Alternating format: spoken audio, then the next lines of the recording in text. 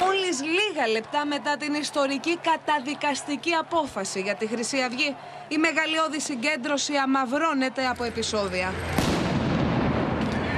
Όλα φαίνεται να ξεκινούν στη συμβολή της λεωφόρου Αλεξάνδρας με την Λουκάρεως όταν νεαροί αρχίζουν να πετούν πέτρες και μπουκάλια κατά των αστυνομικών δυνάμεων. Ο έαντας της αστυνομίας πετά νερό. Κουκουλοφόροι με πυροσβεστήρες επιτίθενται στους αστυνομικούς και άλλοι προκαλούν φθορές στις κλούβες των ΜΑΤ. Οι μολότοφ και τα χημικά πέφτουν βροχή. Εδώ και πέντε λεπτά ακούμε συνεχώς εκρήξεις, είτε είναι κροτουλών από την αστυνομία, είναι χημικά. Η ατμόσφαιρα είναι αποπνικτική πραγματικά. Ο κόσμος τρέχει πανικόβλητος και η λεωφόρος Αλεξάνδρας μετατρέπεται για πάνω από 10 λεπτά σε πεδίο μάχης.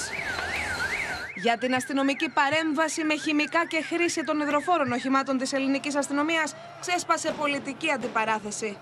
Κύριε Χρυσοχοίδη, χρειαζόταν χρήση χημικών ακόμη και σε αυτή τη συγκέντρωση λίγα λεπτά μετά τη συγκλονιστική δήλωση δικαίωσης της μητέρας του Παύλου σε έναν απόλυτα προστατευμένο χώρο από 2.500 αστυνομικούς και δεκάδες χιλιάδες κόσμου ειρηνικής τάσης και περιφρούρησης. Στον κύριο Σπίρτζη που δεν άκουσε, δεν είδε, αλλά παρόλα αυτά καταγγέλει, απάντηση είναι οι εικόνες από τις Μολότοφ και τα κατεστραμμένα αυτοκίνητα της αστυνομίας. Καταγγελία του Μέρα 25 διερευνά την ίδια ώρα η Ελλάς, βάσει της οποίας αστυνομικός επιτέθηκε λεκτικά στον γραμματέα του κόμματος του Γιάννη Βαρουφάκη. Για την υπόθεση έχει διαταχθεί ένορκη διοικητική εξέταση.